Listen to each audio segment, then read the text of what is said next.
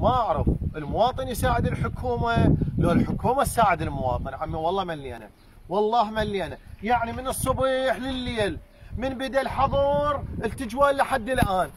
آلاف الشباب بالعراق ومئات من شباب محافظة النجف تركض من الصبح لليل. نجمع منا ألف ومنا ألفين ومنا مئة ألف على مود نساعد العوائل المتعففة. نركض والله عايفين عوائلنا وبالخطورة وبالكورونا والشرطة القاطعة الشوارع وش عندك رايح وش عندك راجع؟ وفوق الحكومة أبويا ساعدونا. ساعدونا والله تعبنا. عايفين عوائلنا؟ عايف هاي قاعد اساعد احدى العوائل المناطق العوائل المتعففة من محافظة النجف. إجت ناس آه شباب منا منا ابناء محافظة النجف عقود إجراء يوميين. مجاري ودارة الماي. دارة الماي 1200 عقد. والمجاري 500 عقد.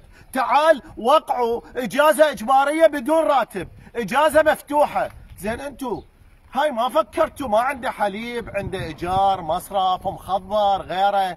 عنده سلفة هي 300 ألف. هي 300 ألف. 1200 عالة. تقطعون رواتبهم بأي صفة قانونية بأي صفة إنسانية. يعني هاي الدول العالم هي قاعدة تساعد شعوبها بهاي الأزمة. وأنتم قاعدين والله وعلى الكراسي مالاتكم النجدات والهوسة وقالت خليت الأزمة وكذا مليار. و... هاي الناس كتلها الجوع الناس تعبت الناس ملت. قلنا كافي اعتصامات خاف نسبب مشاكل المحافظة النجف العراقية. وننصح الناس يا معودين قعدوا الناس راح تنفجر من ورا من وراكم. والله راح تنفجر. إحنا ملينا. الإنسان هم من عنده طاقة. يعني نصيح بالفيس ونصيح بالتلفزيون ونصيح بالشارع ونلم على القليل وعوادم العوائل المتعفه ما يصير يا أخوان. ما يصير. يا سيد المحافظ يا المسؤولين يا خلية الأزمة.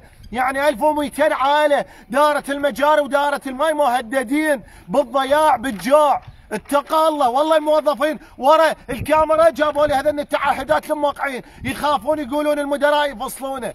ما يصير.